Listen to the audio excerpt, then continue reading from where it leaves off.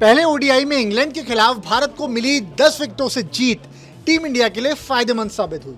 हाल ही में जारी हुई आईसीसी रैंकिंग में भारत को बड़ा फ़ायदा हुआ है और इस जीत के चलते भारत ने अपने चिर प्रतिद्वंदी पाकिस्तान को पीछे छोड़ दिया।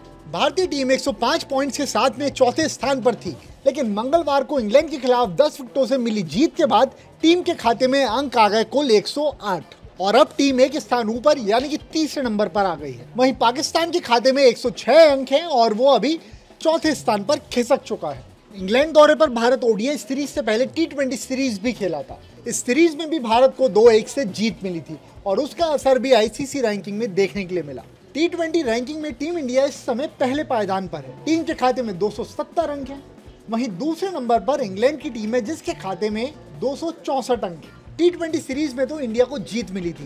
लेकिन आपको क्या लगता है? ओडीआई सीरीज़ में भी क्या टीम इंडिया इंग्लैंड को इंग्लैंड के घर पर हरा पाएगी? प्लीज़ कमेंट करके ज़रूर बताइएगा। और अगर ये वीडियो पसंद आए तो उसको प्लीज़ लाइक कीजिएगा। साथ में आप इस वीडियो को शेयर भी कर सकते हैं। और आगे इस तरह के अपडेट्स पाने के लिए आप खबर विभाग को जल्दी से सब्सक्राइब कर लीजिए।